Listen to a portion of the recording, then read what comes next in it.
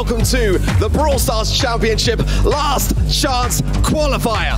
We've got 16 top teams from around the globe ready to battle it out and put everything on the line for these four golden tickets. The players are ready. Let's get ready to brawl.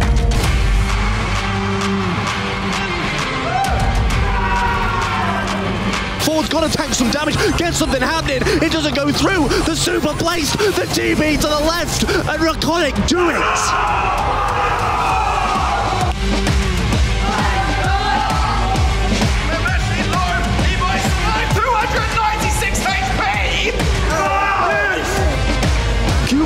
Down for Navi.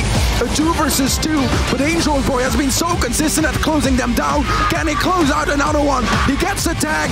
Is that gonna be enough? Menmi is right there, and it's gonna be the one shot from Angel Boy.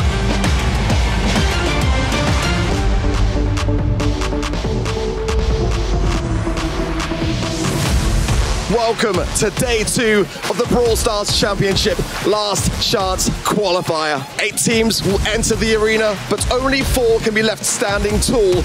And this is what their entire year's work has been leading up to. It'll be one last brawl to decide it all. Who is it going to be? We're about to find out. I'ma take it to the top. Homsy's coming as well. They're tanking well. Really nice stuff, but Chaos is coming forwards. There's no damage on the Humble side, and SK have oh. got more. They do it, and they're going to Worlds. I'ma take it to the top. Turret is down, Zara's going in, the damage is coming down as well. Oh my word, SCM are absolutely destroying the safe, and it is done.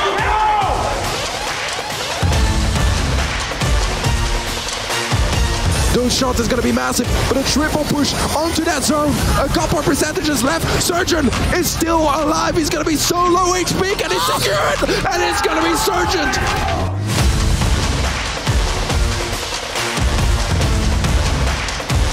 Navi are there, the double pull from Angel Boy.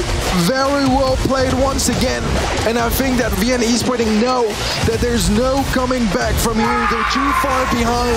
And Navi are gonna be your final team to qualify for the World Finals 2023.